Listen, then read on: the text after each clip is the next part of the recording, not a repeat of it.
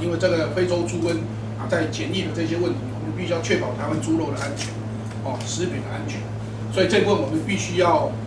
除了说我们在决战在境外以外，我们必须主角在我们的关口。所以这一部分昨天啊，院长特别指示我打电话给我，而且院长的指示有一点是特别啊，他他说了，他说因为这里面涉及了交通部，涉及了内政部，涉及了财政部的关务署，也涉及了农委会。他说这么多个单位，他问我一句话，他说还要不要再开会协调？那我立即回答院长说不必开会协调，我们就全力配合。那最主要院长是提到说有关手提行李的部分，是不是通通要经过 X 光机来确认？那我也立即回复部长说没有问题，我们警政署跟航空警察局全力配合。那现在全力配合就是我们要紧急采购 X 光机，好，因为我们手提行李要经过 X 光机的话，也必须要紧急采购。那紧急采购 X 光机。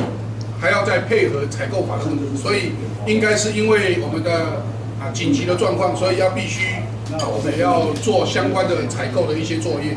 啊，所以如果是紧急采购的话，那可能就可以啊在一些正常程序以外啊就可以排除政府采购法一些所谓的要公告招标等等很长的一段时间，那我们会尽尽快的缩短这个采购的时间。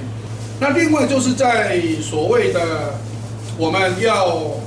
把这些 X 光对于手提行李要检验之前，